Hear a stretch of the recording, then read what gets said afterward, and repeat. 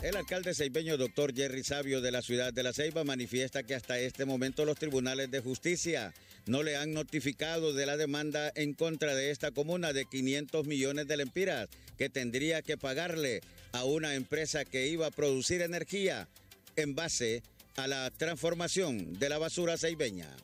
No se ha notificado oficialmente, pero sí estamos en conocimiento de por parte de lo que es este notificaciones, pero no de parte de los juzgados se ha hecho este, esta aclaratoria y pues en ese sentido nosotros estamos visitando los abogados de este lugar, que son los juzgados, para que se pueda conocer el detalle sobre este proceso y cuáles fueron los que son las, situaciones que se dieron anormales.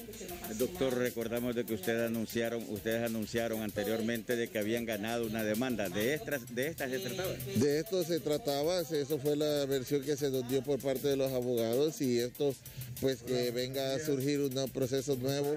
Nosotros eh, estamos en esas investigaciones para poder dar pie a lo que es la aclaratoria a todo lo que es la ciudadanía. ¿Pero se le pagó en aquel momento a los abogados?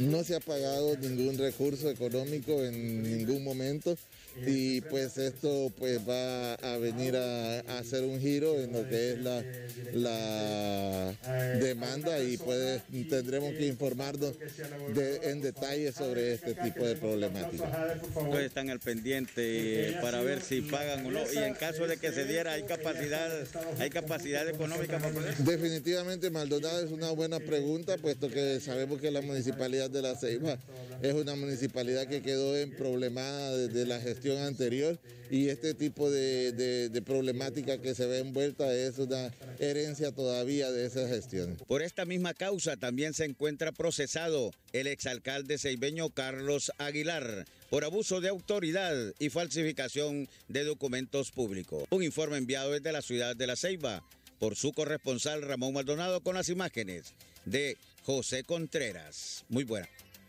Muy buenas tenga usted también, Ramón. Y Julio Ruiz